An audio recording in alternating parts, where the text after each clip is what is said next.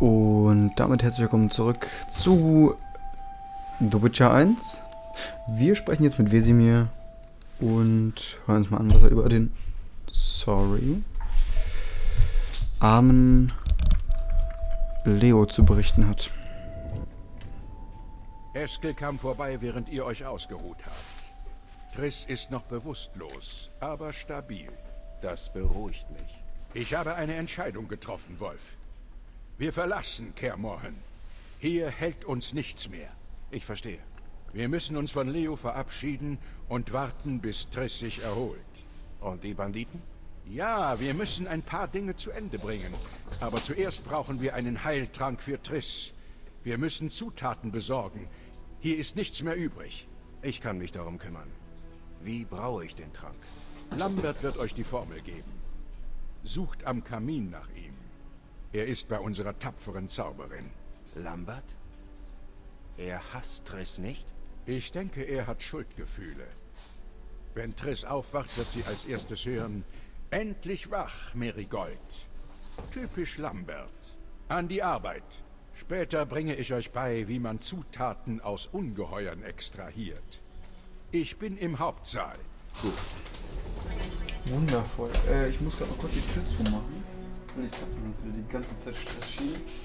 Ihr hört mich jetzt gerade wahrscheinlich ziemlich schlecht. So, Tür ist zu. Da ist gerade was umgekippt. Tagebuch. Linksklick auf das Rollensymbol oder drücke J, um das Tagebuch zu öffnen.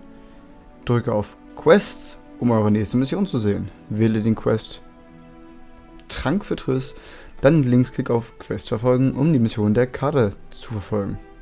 Um die Mission auf der Karte zu verfolgen. Sorry. Neuer Eintrag, ein Trank für Triss. Dafür werden sie büßen. Das will ich hoffen, Wesemir, das will ich hoffen. Gucken wir mal kurz um. Mmh, lecker, schmecker, klein und rund. J.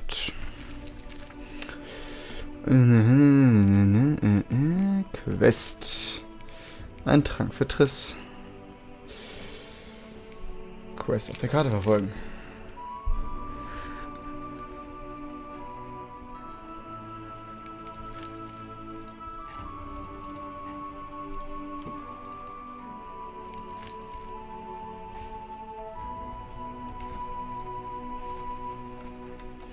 Ja, die Katzen sind tierisch laut, danke.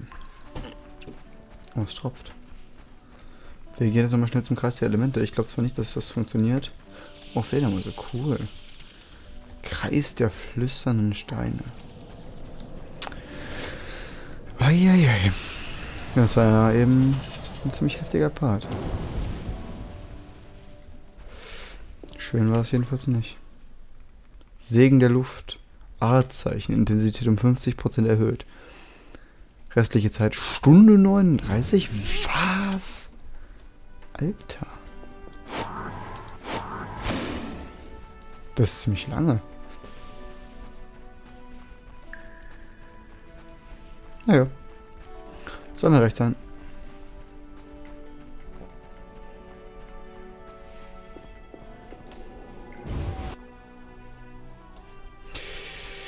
Oh Mann. Ähm, ich schätze übrigens, ich habe mich ein bisschen verrechnet. Ich habe Freddy gesagt, ich schätze, ich brauche 100 Parts für dieses Projekt. Ich schätze eher inzwischen so auf 1000. Ich glaube, ich habe das Spiel deutlich unterschätzt.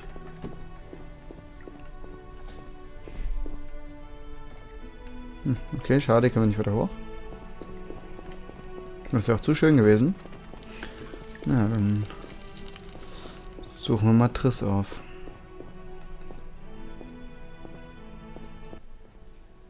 Gerald, stimmt etwas nicht?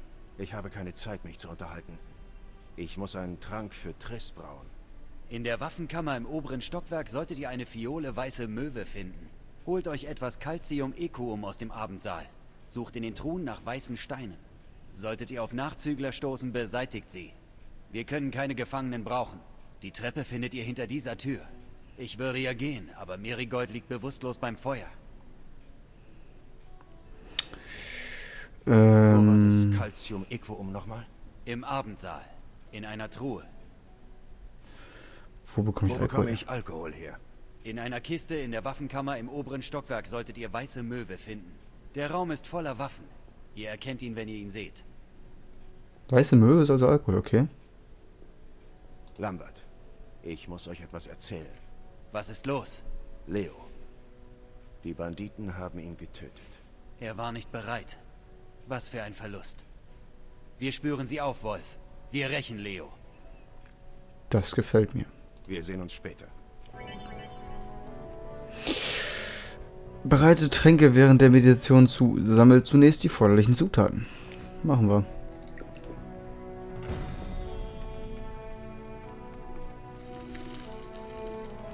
Ach, jetzt geht's ja auf. Triss soll hier irgendwo liegen. Da liegt's ja.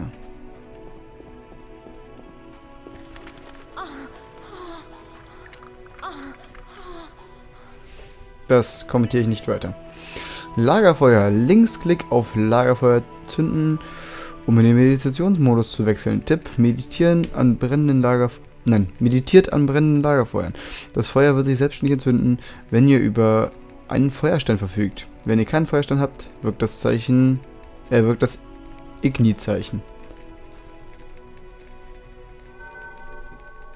Ich möchte gar nicht meditieren, danke.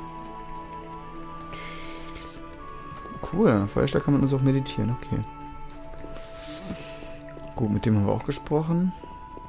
Dann folgen wir doch jetzt mal der Quest. In die Küche. Ich habe übrigens vergessen, wann ich angefangen habe. Küchen, Kleiderschrank. Da finden wir Blaubeeren drin, klar. Im Kleiderschrank.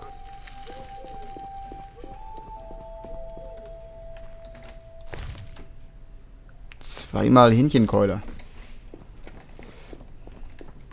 Alter Schrank.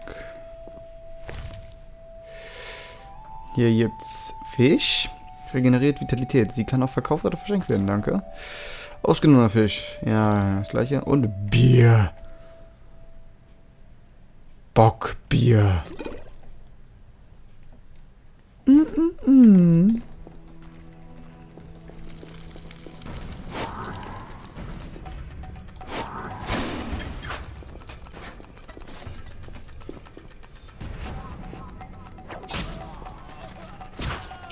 Werdet den Tag verfluchen, an dem ihr geboren wurde.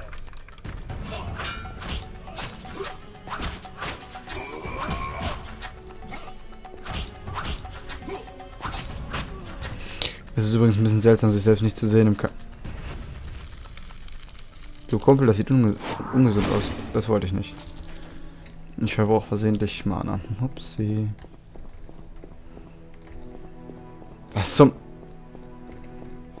Warum ist hier Wasser drin? Man kann scheinbar nicht schwimmen, okay. Also wie gesagt, ich kenne das Spiel noch nicht furchtbar lange. Brötchen. Warum hat er ein Brötchen dabei? Oh, mm, lecker Brötchen. Aber das nehme ich mir gleich mit für morgen. Alter, ich meine mal ernsthaft, wir sind hier einer ziemlich coolen Burg und alles ist verfallen.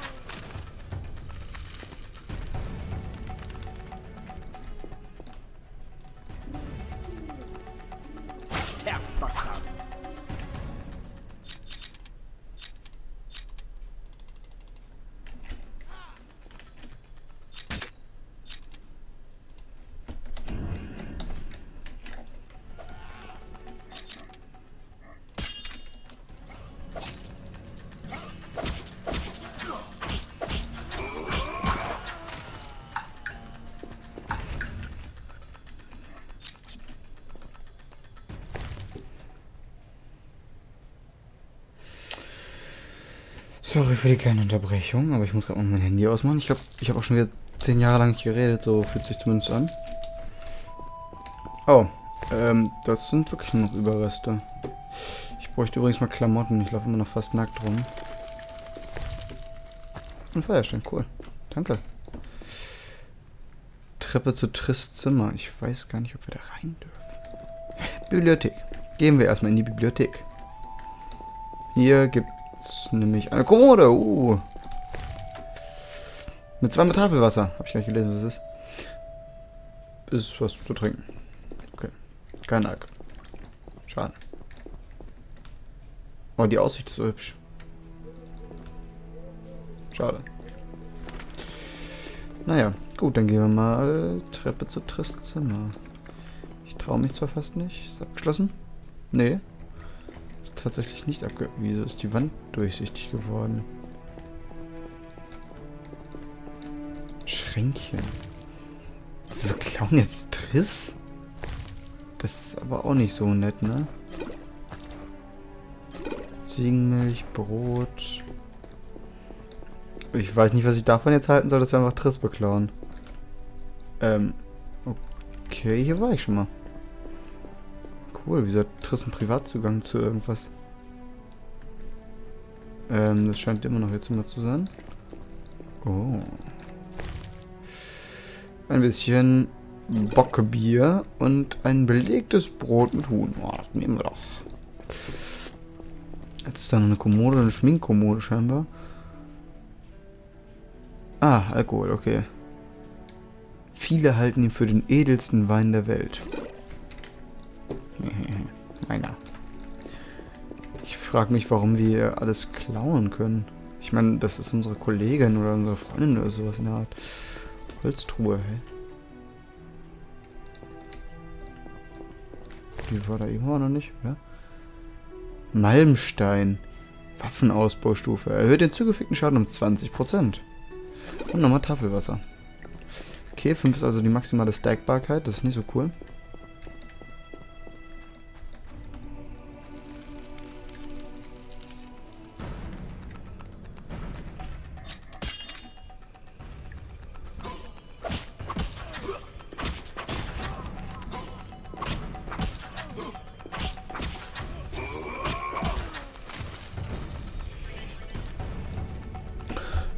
Schwebende Meldung. Tipp: Schwebende Meldungen wie zu schnell oder zu langsam könnt ihr in den Spieloptionen ausschalten. Oh Gott sei Dank.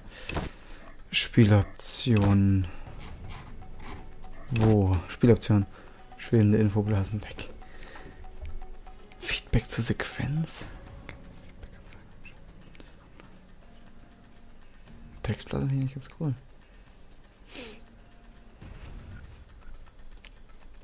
Tutorials sind okay. Untertitel möchte ich auch gern haben.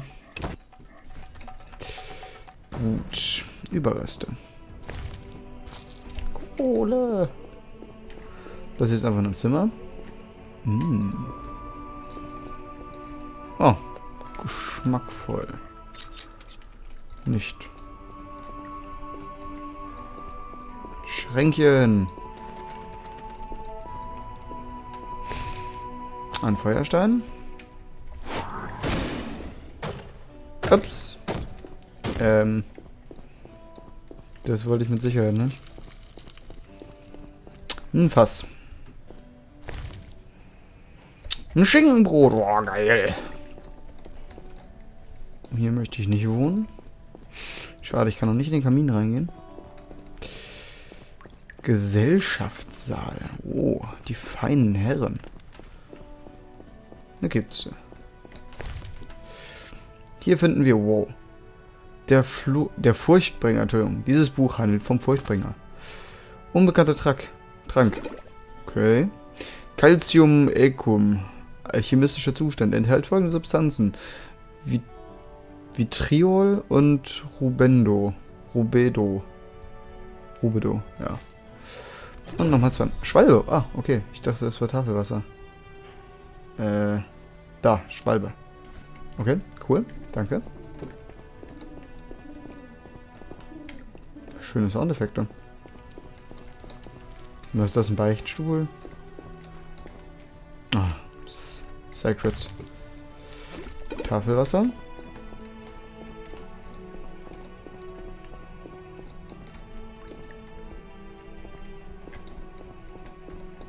Ach, das ist die Kiste, die man mehrfach öffnen kann? Okay. Ja, ist nicht mehr dran. Okay. Gut, jetzt habe ich schon mal die eine Ingredienz hier.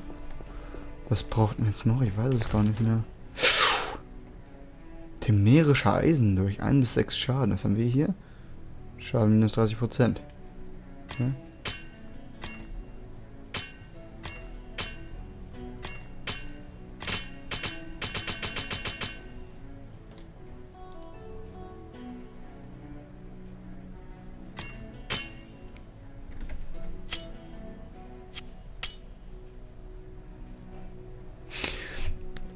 Diese Waffe kann nicht in Kombination mit Kampfstilen des Hexers verwendet werden.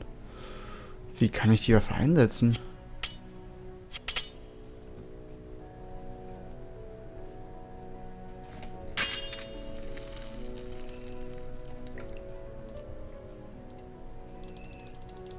Euer Inventar ist voll, okay.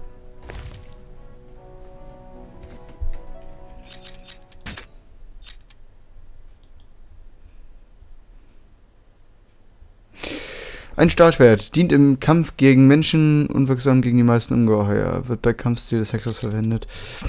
Temerischer Eisendolch. Schaden 1 bis 6. Diese Waffe kann nicht in Kombination... Warum nicht? Verstehe ich nicht. Ähm, Entschuldigung.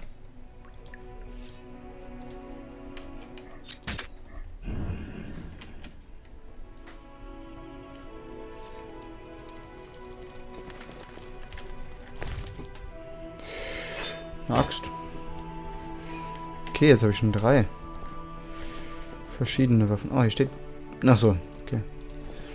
Angreifen kann ich die wohl aber nicht. So, Kiste. Monstrum oder wahrhaftige Beschreibung der Hexer. Ein Anti-Hexer-Pamphlet. Beschreibt, wie gewöhnliche Leute Hexer sehen und berichtet von der Zerstörung Kaer Morgens. Unbekannter Trank und zweimal Meiße, Meiße Würwe. Alchemistischer Grundstoff für Tränke. Okay, da steht Alkohol. Ich habe den Alkohol gefunden. Ähm, wir lesen jetzt aber erstmal noch eine Runde. Und zwar. Ah, okay. Boah, ist das viel. Monstrum oder wahrhaftige Beschreibung der Hexer von Anonymous. Wahrlich, nichts Abstoßenderes existiert, denn diese widernatürlichen, widernatürlichen Ungeheuer. Wahrlich, nichts Abstoßenderes existiert, denn, wieder, denn diese widernatürlichen... Das ist alte Sprache. Entschuldigung, das muss ich erstmal lesen lernen. Wahrlich, nichts Abstoßendes existiert, denn diese widernatürlichen Ungeheuer, die man von Hexer nennt, sind die... Ach, fick dich doch, ich hasse Vorlesen. Ich lese einfach leise, ihr könnt mitlesen.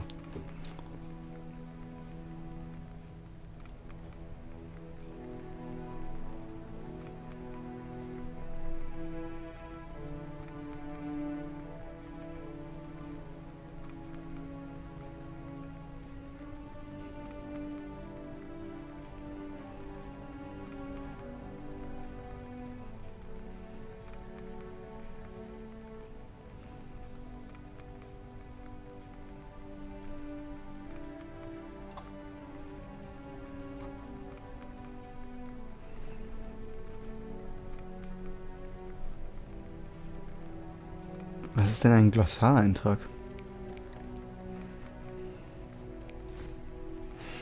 Neuer Eintrag im K-Buch. Glossar Hexer, okay. Was auch immer ein Glossar-Scheiß ist. Äh, äh, äh. Ah, Tränke kann man also irgendwo hinlegen. Das habe ich gerade gelesen, das lese ich auch noch.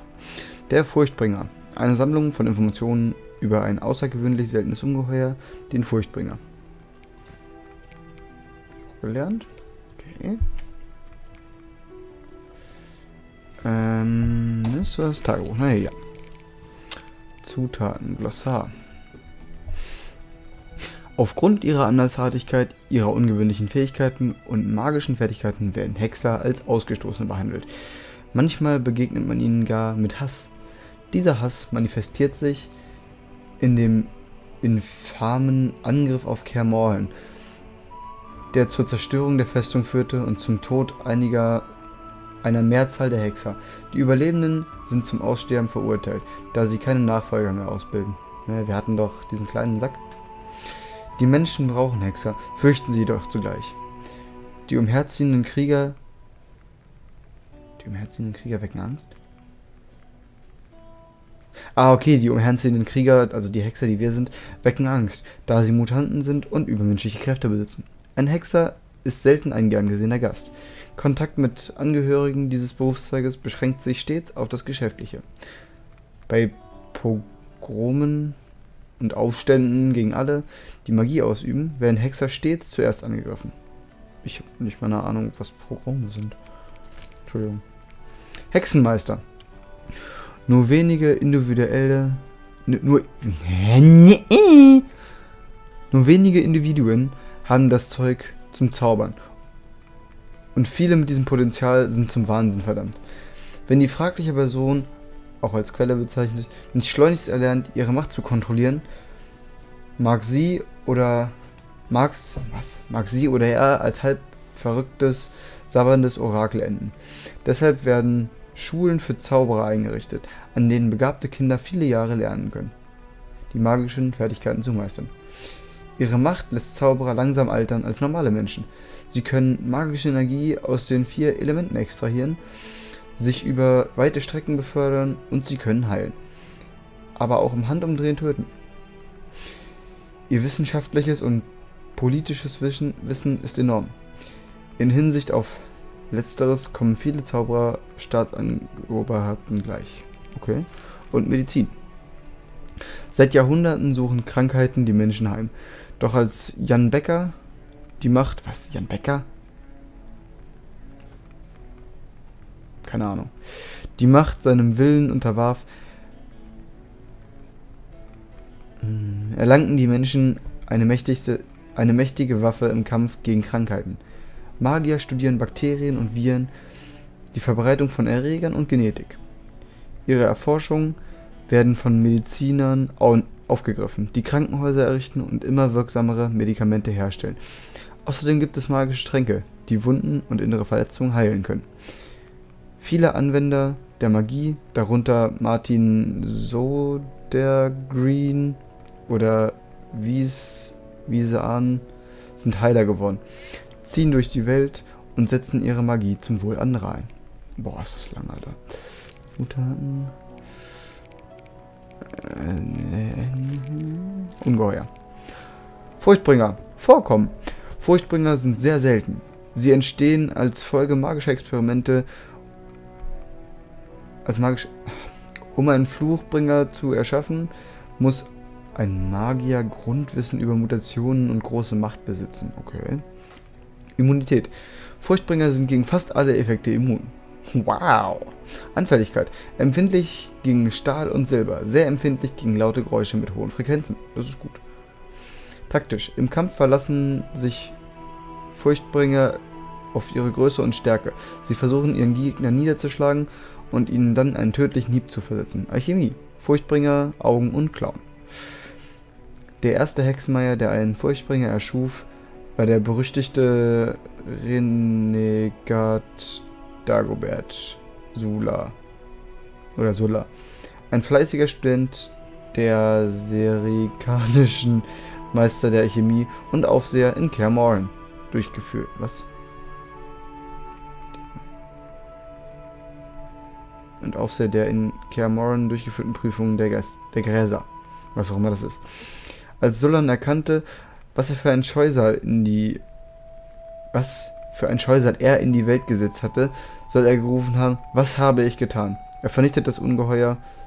Er vernichtet das Ungeheuer. Seine Aufzeichnungen hingeblich, hingegen blieben erhalten. Okay. Wundervoll. Orte haben wir noch keine. Charaktere haben wir schon 1000 Stück. Boah, wir haben 8000 Sachen jetzt noch durchzulesen. Weiße Möwe. Äh, ich glaube, ich habe schon 30 Minuten wieder voll. Weiße Möwe ist ein halluzinogenes Getränk, kann aber auch zur Herstellung anderer Tränke genutzt werden.